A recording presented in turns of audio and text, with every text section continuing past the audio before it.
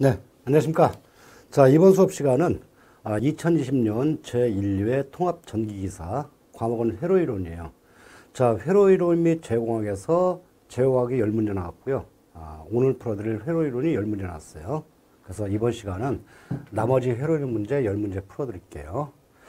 자, 1번 문제. 이건 라플라스 변환 문제죠. 근데 라플라스 변환에서 함수가 곱 된 형태야, 곱의 형태. 자, 요 문제 관련된 기본 공식. ft 함수가, 아, t의 제곱 함수. 자, 이거 라플라스 변환하면 어떻게 돼요? fs equal 얘가 2차일 때 s의 3차로 차수가 하나 늘어나면서 위에 분자가 2 factorial이야. 근데 2 factorial이라는 것은 1 곱하기 2를 말하는 거죠. 네. 따라서 2 factorial은 그냥 2로 남는 거예요. 이게 첫 번째 관련된 공식이고 두 번째가요. 지수함수 exponential의 아, 마이너스 AT 자 이거 라플라스 변환하면 어떻게 돼요? 라플라스 변환하면 상수가 마이너스 A일 때 상수 부호가 바뀌면서 A, S 플러스 A분의 1이 돼버리거든요. 자, 그러면 문제 주어진 식이 ft 이꼴 t의 제곱에 익스포넨셜에 아, 마이너스 알파 t라고 주어진 거죠. 자, 근데 위에 두 식을 갖다 고변 형태란 말이야. 이거 라프라스 변환한 그 요령은 일단 한꺼번에 하지 말고 항상 뒤에 거부터 먼저 알아. 그러면 뒤에 거부터 먼저 라플라스 변환 처리하면 마이너스 알파니까 요 위에 원리에서 S 플러스 알파분의 1이 되는 거죠. 자, 이 상태에서 T의 제곱, T의 제곱은 S의 3승분의 2가 된단 말이야. S에다가 알파까지 한 형태니까 전체의 3승이 되는 거예요. 그 다음에 위에가 아, 2 factorial이야. 근데 factorial한 건 의미가 없죠. 1 곱하기 2니까.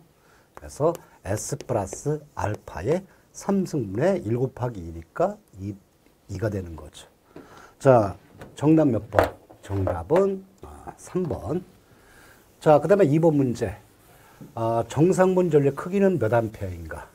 우리가 대칭 성분이 세 가지가 있죠. 영상분, 정상분, 역상분. 그 중에서 이 문제는 정상분 전류니까 I1만 구하면 되는 거예요. I1 어떻게 돼요? 3분의 1에 IA 플러스 A의 IP 플러스 a제곱의 ic. 요 식에서 a는 뭐고 a제곱은 뭐예요? a는 크기가 1이면서 120도. 이거 갖다가 아, 복소수로 전개하면 마이너스 2분의 1에 플러스 j의 2분의 루트 3. 계산기 집어넣을 때 계산 기 능에 이게 있으면 이거 집어넣으면 되고 없으면 이거 집어넣으면 돼요. 자, 그 다음에 a제곱은요. 크기는 1이면서 240도. 마이너스 2분의 1에 마이너스 j의 2분의 3을 말하는 상수가 되는 거죠. 자, 이 공식에 대입해서 문제 풀어보면 3분의 1에 가로에 IA가 10 플러스 J의 3이라고 주어졌고 A, A는 여러분들 계산기 치는 거에 따라서 이걸 넣어도 되고 이걸 넣어도 괜찮아요. 저는 뒤에 끌어볼게요. 마이너스 2분의 1에 플러스 J의 2분의 루트 3 내지는 마이너스 0.5 플러스 J의 0.86을 집어넣으면 괜찮아요. 곱하기 IB, IB가 마이너스 5에 마이너스 J의 2 플러스 A제곱, A제곱은 240도 또는 마이너스 2분의 1 마이너스 J의 2분의 루트 3 그죠? 여기 곱하기 IC 마이너스 3 플러스 J의 4 자, 이거 뭘로 계산하겠어요? 여러분들 계산기로 계산해 줘야죠. 아마 이 문제가 어렵진 않은데 여러분들이 어, 좀 조심할 점이 뭐냐면 계산기로 이걸 잘 입력하셔야 돼요. 그러니까 평상시 때 이런 계산기 사용법도 평소에 잘 익히셔야 돼. 그래서 계산기 사용만 여러분들이 무난하게 할 수만 있다면 틀림없이 정답을 찾겠죠. 계산기 쳐보면 6.34. 그 다음에 허수부가 플러스 J에 0.09가 나와. 근데 문제 보기에 보면 이렇게 물어본 게는 크기로 물어본 거죠. 그러면 I1 정상전례 크기는요. 루트 씌워서 실수의 제곱 6.34의 제곱 허수의 제곱 0.09 근데 이것도 하나의 요령이에요. 생각해보세요. 6.34보다 0.09는 무지하게 작잖아. 그럼 이거 구해봐야, 그죠? 근사적으로 6.34보다 약간 큰 거야. 그죠? 예. 그러면 찾아보면 어떻게 돼요? 저는 6.34보다 약간 큰 거라고 답 냈지만은, 아, 실제 답은 6.4가 계산적으로 올바르겠죠. 그죠? 예. 자, 3번 문제는 어, 기본 공식 물어본 거죠. 우리가 어, 특성 임피던스 전파 정수. 그러니까 이게 써보면은 그냥 바로 답이, 답이 나오는 거야. 특성 임피던스는요. 루트의 y분의 z. 여기서 z를 풀어버리면 r 플러스 j 오메가 l. 어드미턴스 y를 풀어버리면 g 플러스 j 오메가 c. 얘는 근사적으로 r과 c는 작으니까 루트 c분의 l. 자, 이거는 특성 임피던스에 관한 식이고 전파정수 감마는요. 루트의 zy. 그럼 이것도 풀어버리면 임피던스는요. 얘는 r 플러스 j 오메가 l 곱하기 어드미턴스 g 플러스 j 오메가 c. 자, 이거는 실수부 알파, 허수부 j의 베타 형태로 나오는 거죠. 자, 문제 뭘 물어본 거예요? 바로 이걸 물어봤잖아요. 기본 공식을 물어보니까 정답은 2번이 되는 거고. 자, 4번 문제.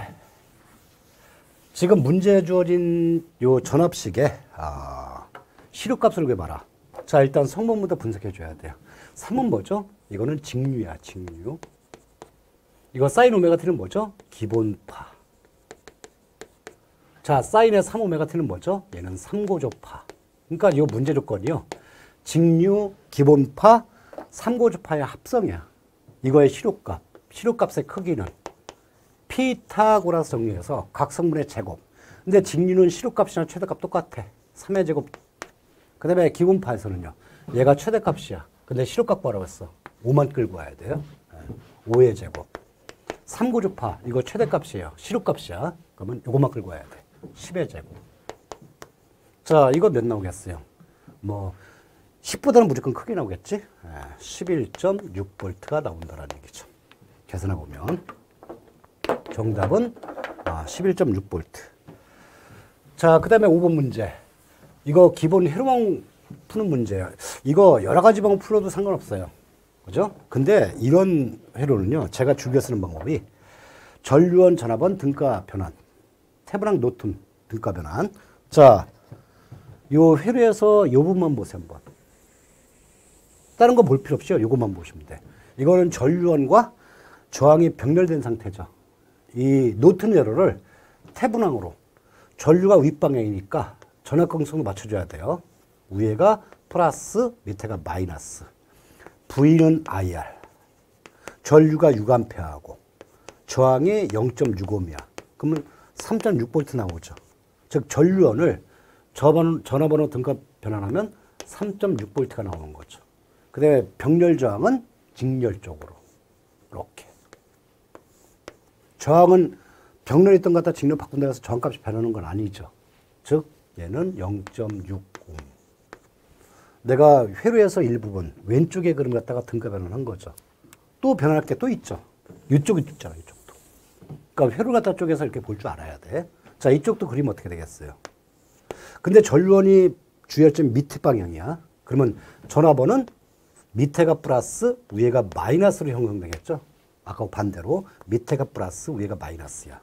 V는요 역시 IR. 전류가 2A하고 저항이 0.4야. 그럼 0.8V가 되는 거란 말이에요. 전류원을 전원을 바꾸면 0.8V. 그 다음에 병렬 저항은 직렬죠. 이렇게 직렬로. 저항은 안 바뀌어. 0.45이 되는 거지. 자, 이 상태에서 뭐 이제 연결시키면 가 이거 쭉 연결되고. 근데 얘하고 얘 연결되면서 중간에 0.5옴이 있죠. 중간에 0.5옴. 그럼 일단 뭘 구할 수 있어요? 이렇게 바꿔놨더니 회로에 흐르는 전체줄 I는 구할 수 있죠. 그러면 전체줄 I는요. R분의 V. 저항 R. 요 세 개가 무슨 연결? 직렬 연결. 0.6, 0.5, 0.4. 전압은요. 이거 가극성이에요, 감극성이에요. 전류가 이렇게 흐르는 게 똑같은 전류가 흐르는 거죠. 가극성이야. 3.6 플러스 0.8. 이거 계산하면 어떻게 돼요? 0.6에 0.3니까 1이고 1에다 0.5니까 1.5가 되는 거고 3.6에 0.8이니까 4.4가 되겠죠. 일단 회로에 흐르는 전체 연료가 1.5에 4.4야. 근데 문제 요구하는 거는요. 이 0.5의 양대는 걸리라 V값을 구하는 거죠. 그럼 V는 IR. 회로 전체 흐르는 전류가 몇 암페야?